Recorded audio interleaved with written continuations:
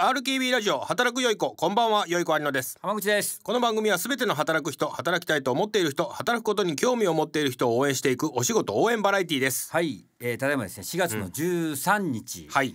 えー新年度がスタートしたんですけども、うんうん。この4月13日にはですね元おにゃんこクラブの、はい。えー会員番号9番の名古屋美香さんのお誕生日だということです。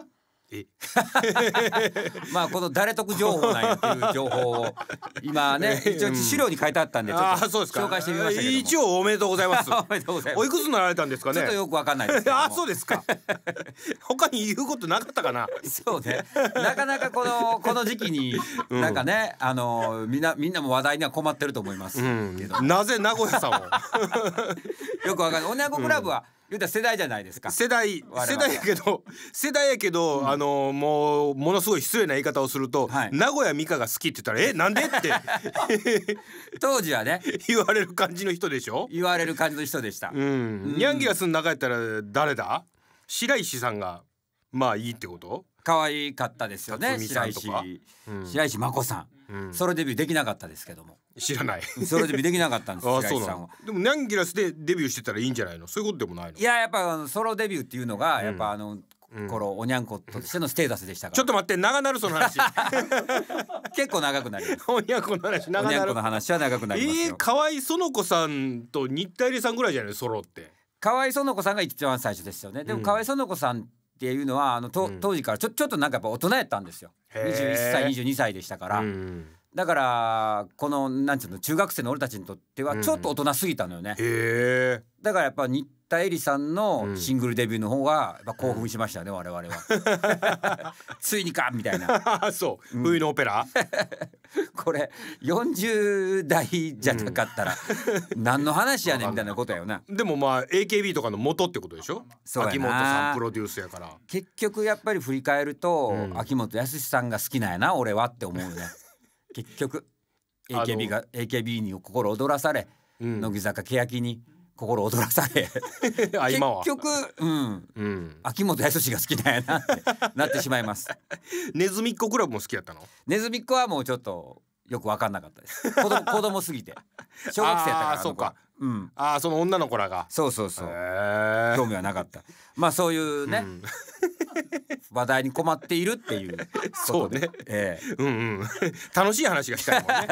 楽しい話したくてこうねいろいろうん。ねこう資料で作家さんもいろいろ書いたんでしょうけども。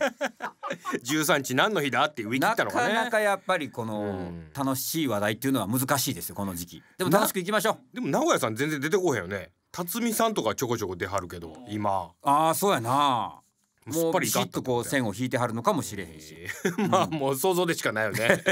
でも名古屋さんお誕生日おめでとうございまおめですとうございます。さあこの番組では皆さんからのメッセージをお待ちしています。あなたのお仕事に関するエピソードや僕らへのメッセージなどどんどん送ってください。メールアドレスは 415-rkbr.jp 数字で 415-rkbr.jp です。ツイッターでも全部ひらがなでハッシュタグ働く良い子をつけて実況や感想などをつぶやいてください。そしてこの番組は RKB ラジオで放送後 YouTube のよい子チャンネルで動画で配信されております。ぜひそちらではスタジオの様子も合わせて楽しんでください。それでは今日もお仕事楽しんでいきましょう。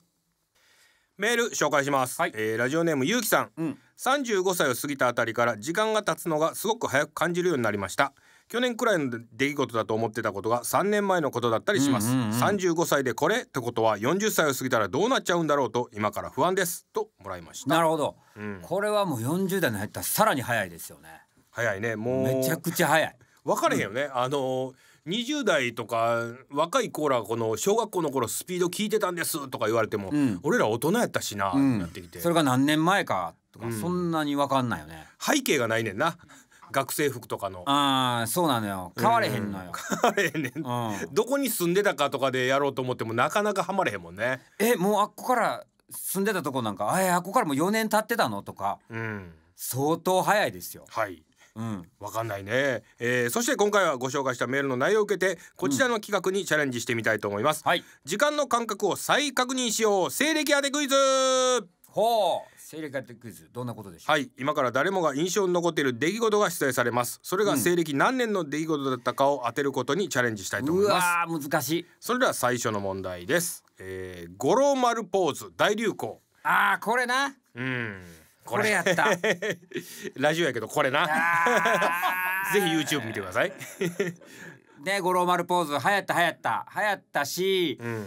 うーんなんやろな。俺写真とか結構こう残してるんですよ、うん。うんうん写真見るとなんかね無人島でこのポーズやってる写真があるんですよ。あったっけ？五郎丸ポやーズで。ってたっけ？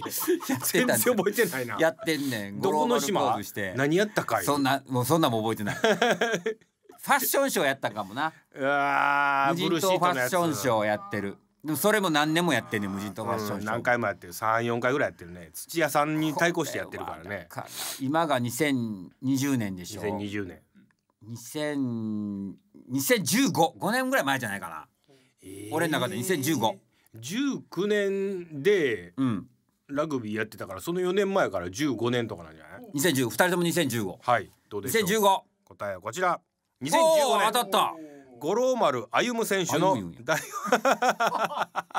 お前 な。歩むっていうねや、代表的なポーズラグビーワールドカップ2015で大活躍をして注目を集めました。そうだから、えー去年、ん。去年のそのやつには出てないねんな。出てると思ってたんやけど、うん。完全に勘違いしてましたけど。そうやね出てはないのよ。うん。そういうのもびっくりしました、うん、先行してそのラグビーの話とか話してたら五郎丸がっつったらなんか受け悪いなと思ったら 出てなかったりするそうやね 情報が入れへんから。うん。リーチマイケルやってんな。そうか去年はリーチマイケルや。うん。リーチ、マイケルの話をしたら受けてたんや。あその情報をやっぱり入れとかなあかんよね。ー難しいね。うん。さあ次です、えーチョベリバ。えー、チョベリバ。流行語大賞にノミネートされてました、チョベリバットうん、チョベリバちょっと機嫌悪いっていう使い方やったっけ？うわー、これは結構前やぞ。えーずいぶん前やね。2015より前なのよねヘキサゴンの頃じゃないの？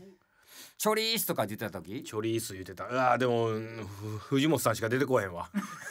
もう藤本さんももう今もう言うてる感じやもんな。そうやんな。元言うてる人が出てこへんねんな。2010そもそもテレビで言うてるの見たことなかったんやけどな。紙面でしか見てないもんな。2013俺のなかんえーと僕2005おそんなに古い？うん。オッケはい。1996年、全然違う。ー超2000年にもなっってないの？1990年代後半に10代20代女子中高生などが使用。対義語はチョベリグ。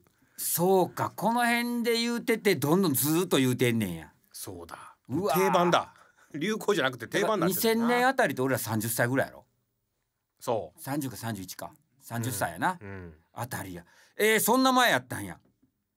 1996年2 5 6ぐらいなのかな。うわー。そうか、えー。言うてたんや。いや全然覚えないわ。言うてへんからな。そうやな。そうこっちは言うてへんから。でも流行ってたやん。流行ってるっていうのは聞いてたけど。そう女子高生流行ってしばらくしてからおっさんまで届くんかな。そうやんな。テレビが拾ってみたいなね。うわー、うん。意外全然わからん。さあ次。ドナルド・トランプ氏がアメリカ大統領に就任アメリカの時やな。アメリカこれはアメリカはい2017年。え？2017年ぐらいだと思う。そんな古くないと思う。ほんま？うん。僕2000 2012さあどうでしょはい。う2017ああよっしゃ。すげえ。ヒラリー・クリントンなどを破り大統領選に勝利しました。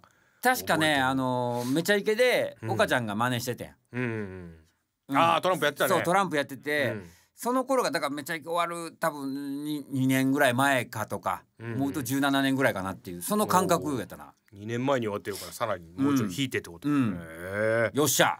次食べるラー油大ヒット。流行語大賞にもノミネート。えこれ全然でずーっとあったろ。2000いや2030代の頃の後半のような気がすんな40歳。いや俺は40歳いやでもあの時えー、俺パーマかけてたなあの時は。パーマ？あるののパーマでは思い出されない パーマを23年かけてた時期があってそこにはまってるから。えっ、ー、と前の。2010年。2012年刻んだな。2010年。よっしゃ当たった。また始めた。桃屋が発売した辛そうで辛くない少し辛いラー油が大人気。ちょっとね10年ぐらい前かなと思ったのよ。あちょうど10年。うんうんうん。だから3030の後半。そうだから。378の頃。俺が変えたのが2012年やったってことか。パーマに？えパーマンじゃなくその、えっと、ゲームセンターのその差し入れでたまにふりかけとか買ってくるうんの、うんうん。それでああったって思って変えたのが12年ぐらいやったと思うなそうか。そうだ。なるほどね。面白いね。なかった。どのどの感覚でどの頃っていうのをこう思い出すかやな。キーワードでな。学生はその時に来てたあの 部活であったりとかな。すそうぐね。俺らは出来事がかぶっていくえ？映画「タイタニック」大ヒット。これはねビデオまだビデオの時代。そう。上下間の太いやつやったんで俺がビブに行ってたこれやから独身やな。20代後半そう20代後後後半か？そう20代の頃にそうやね。あのーそうそう。気のある女の子に「タイタニック」のビデオを借りてそのまま借りパクしてんねんな俺その時。最悪や。当時。キーあんのに何してんねん。うん。俺は裕太君に借りたな変な思い出やな。1994年94年94年95年どうだ？97年。ああそうか。ジェームズ・キャメロン監督による映画セリーヌ・ディオンの歌う主題歌も大ヒット。いくつや俺ら？97年やから25 25歳とかそんなんか。うん。ああ25それもうそんなもんか。えこの後じゃああれだ。アバターだ。そうやな。もう10年ぐらい後じゃない？うん。うわーそんなにプラプラしてたんや。そう思うとな。うん。構想何年とかいうのもな。すごいね、えー、次。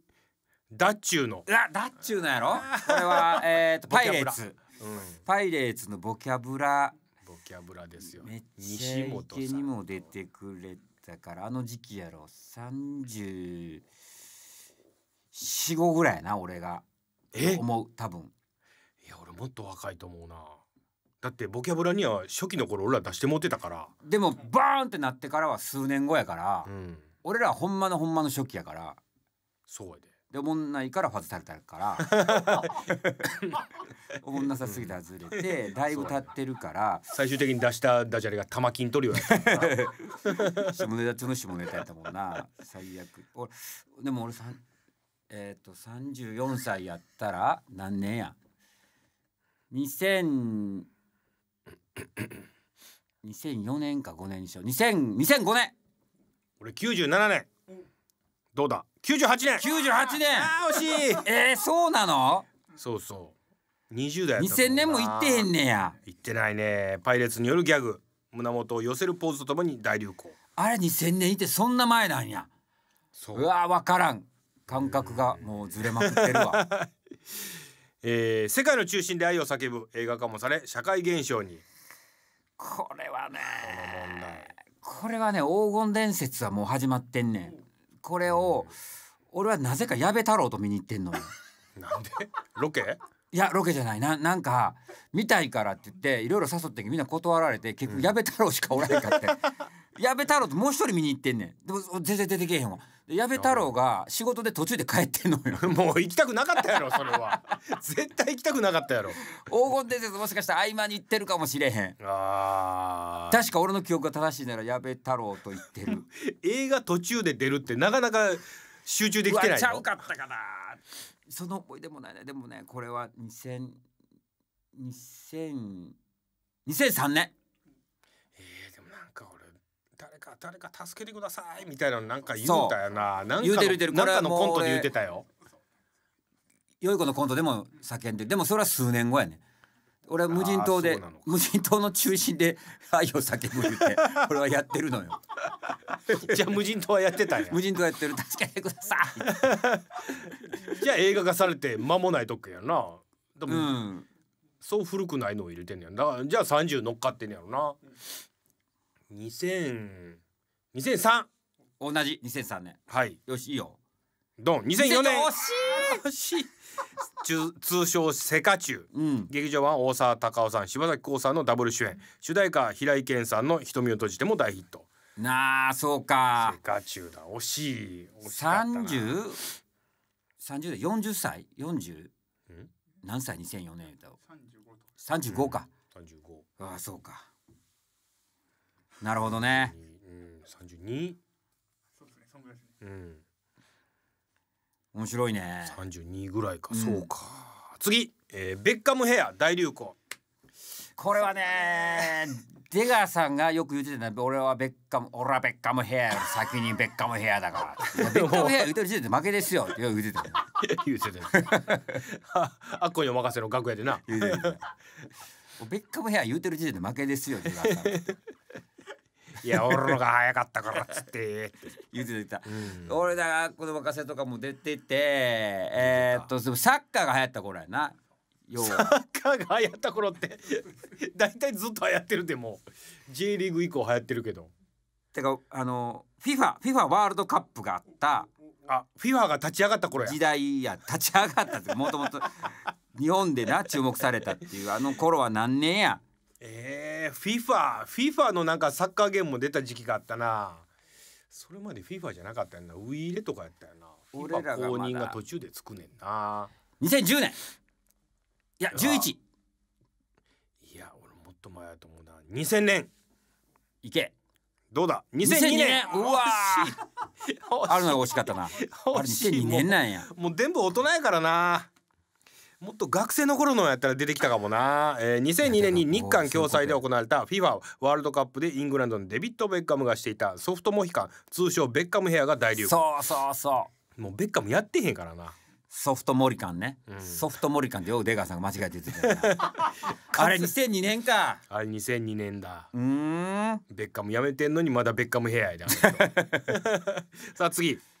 えー、おもてなし、これはだから東京オリンピックが決まったって年でしょ？うん、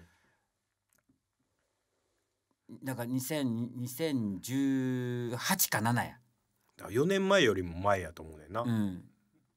いや2016 16、えー14どうだ？2013 13もう一個前だ。えー、そんな前から言ってたの、うん五輪誘致の演説で滝川クリステルが披露。派生系の一発ギャグが多数生まれた。畑。あーおもてなしの言い方で。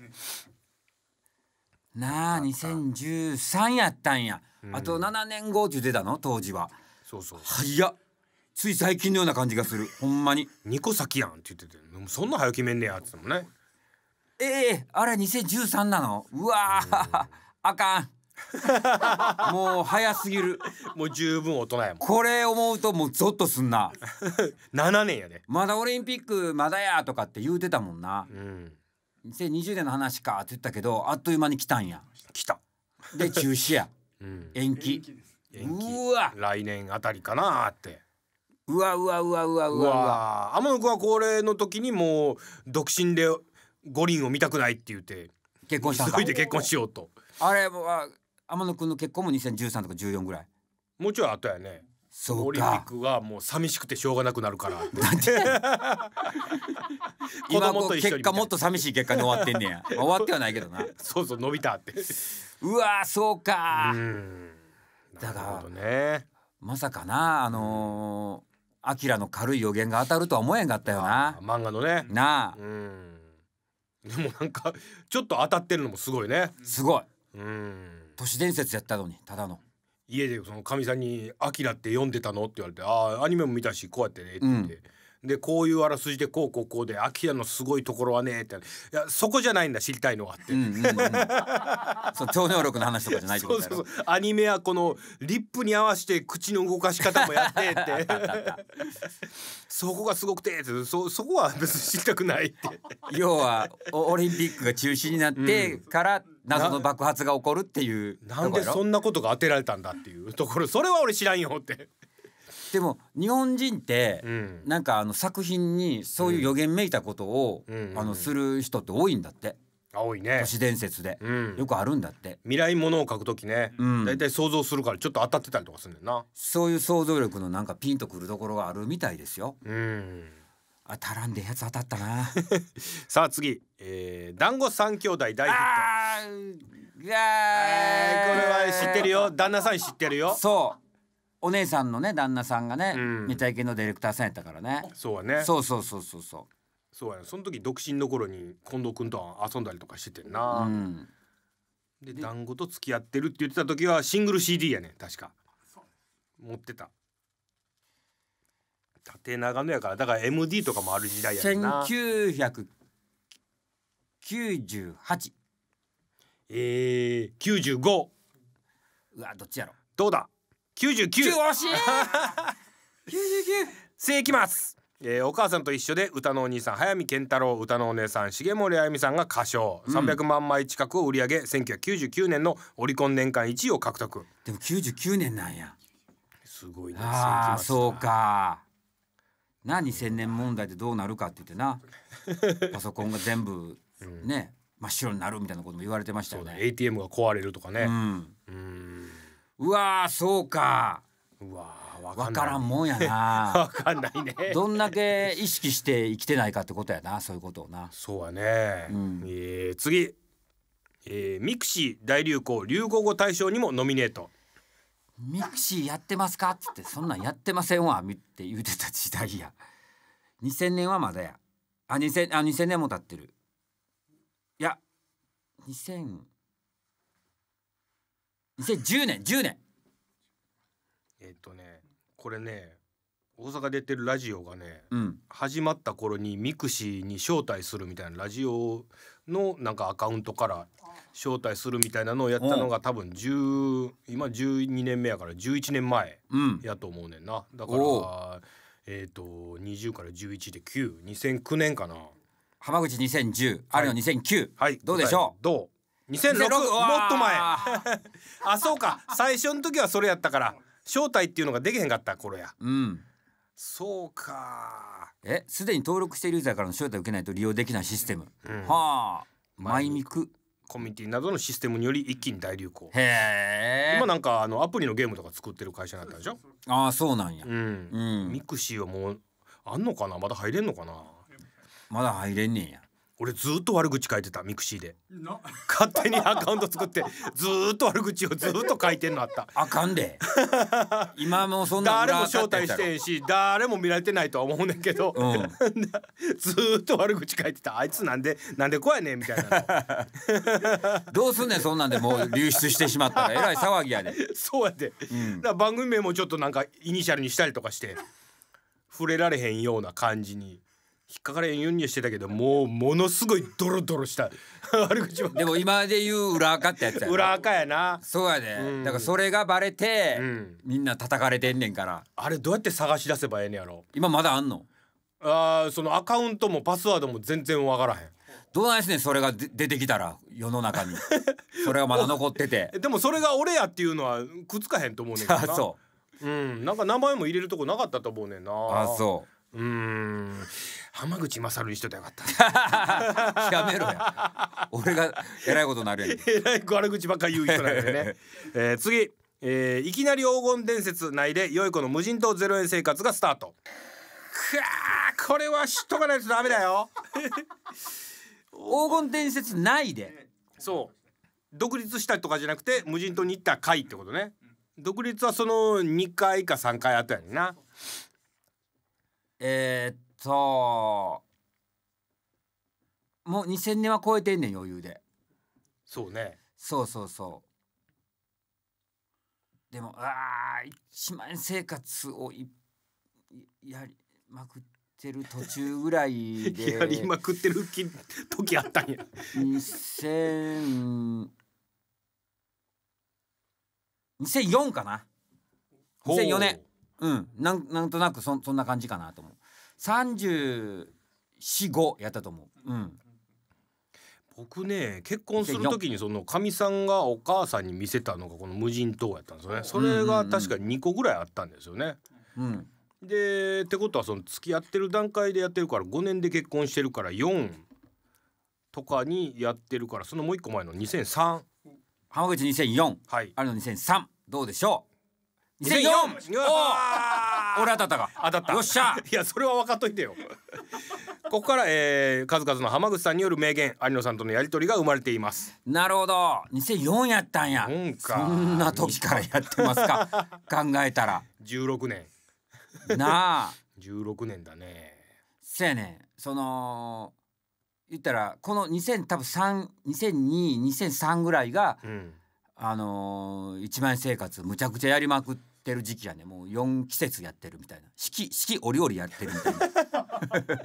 年4回。そうそうそうそうそう。ぐらいやってる時やったと思1ヶ月やから1ヶ月家帰らへんのに。うそうやよ。4ヶ月分家賃を払ってるってことや。そう。変な。すごい大変やっとて、うん。そうそうそう。ほんでもう1ヶ月も延々にやり続けてんのしんどいでみたいな話になっうん。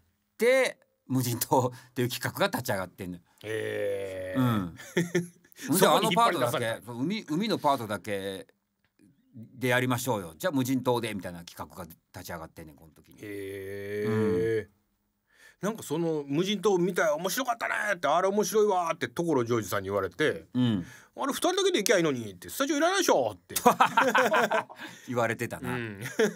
言われたよっていうのをスタッフに言ったらその独立した。なあそれがきっかけかどうか分からへんけど。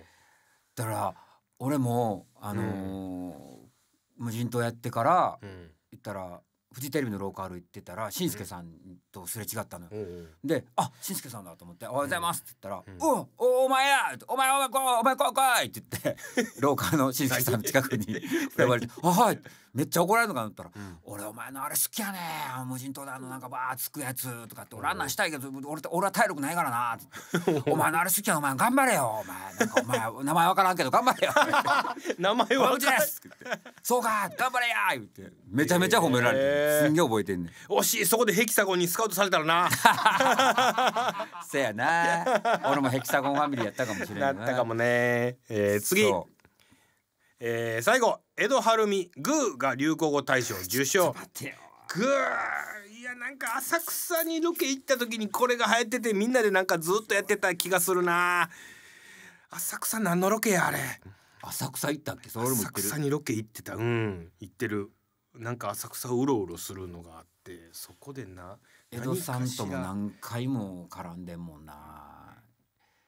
これはでもあでも待てよ2006えー。10でもないな10年ぐらい前じゃない。もうちょっと前やわ。めちゃイケのシンクロにも来てんねんな。2006やってる。それもやってた。やってたなただあれ毎年やってるから全然わからへん。分からん。毎年同じ衣装やし。えー、2006、俺2006えー、2003どうでしょう？答えこちら2008もともとは悪口を言われた時に相手をグーと叩いてやり過ごすため叩いてやり過ごすための言葉だった。あそうなんや。悪く言われてるのにグーねって言ってた。へええー、そうやってんな。そうだ。そんな出所は知らんもんね。もう知らんしいや、うん。このどれだけ経ってるかとか。うん。分からへんもんやな。全然12年経ってるよ。何をきなんかのなんかのきっかけをこう頼りに、それよりいや10年以上前かな後かなとかいう感覚でしか見られへんもんな。だからそのこの当時が学生やった頃はドンピシャで出てくんのやろな。俺らのこの1年のズレなんて大したことないのよ、なんか2006で2008やったら惜しいやけど2年違うのよね。2年違ったらもう全然違うやろ。違う。学年2個は相当でかいよ。そうやな学生の子にしたらな。うん。でもこの年になっての2年ってもう余裕で全く何もないねんな。何にもないな。仕事で思い出そうと思ってもなかなかやねあの楽しみなことをねうん。後に取っておけとかっていうん。う年のあのなかなか時間が経てへんと。うん。だから車も例えば買うと。うん。車楽しみやん来んの。うんうんでそんなもう1年後2年後の車をうん。うん買えとかって言われたの。よへえ。もうね俺もなんかそうしたことあってんけど、うん。その1年苦痛でな。